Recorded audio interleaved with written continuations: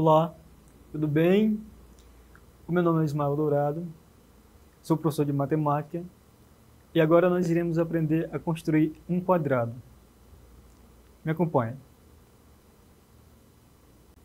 A ideia é a seguinte: você considera duas retas perpendiculares, por exemplo, elas se intersectam num ponto A.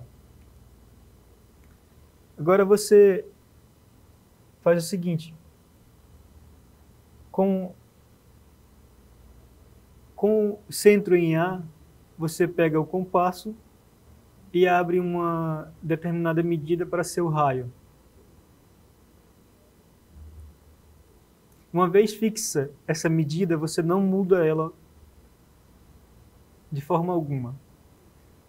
Você centra o compasso em A e constrói uma, uma circunferência que intersecta as duas retas, por exemplo, no ponto B e no ponto D. A primeira intersecção, por exemplo, aí é o ponto B.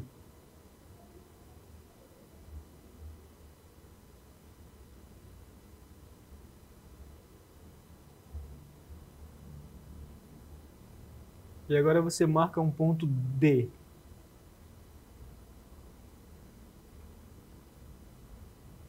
Novamente, não mude o raio e concentre em B e também em D. Você constrói duas circunferências que vão se intersectar num ponto C.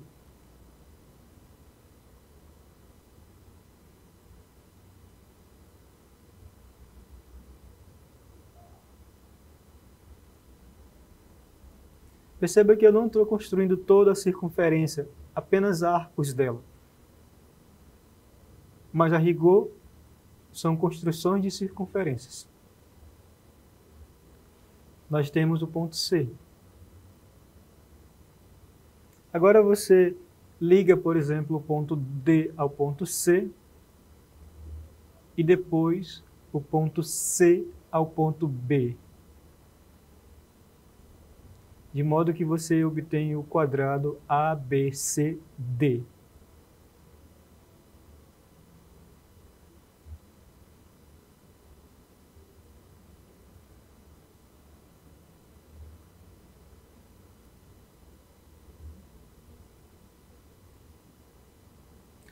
O quadrado é caracterizado por todos os seus ângulos medirem 90 graus. Então, aí nós temos um quadrado. Você percebe que a construção não é complicada.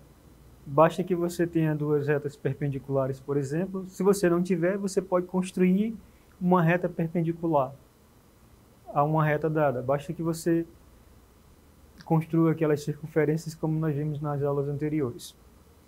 Feito isso, você pega uma unidade fixa para ser o raio da circunferência. E agora é só construindo como nós fizemos anteriormente. Na próxima aula nós iremos aprender a construir paralelogramo, que é bastante parecido com a construção do quadrado. Até lá!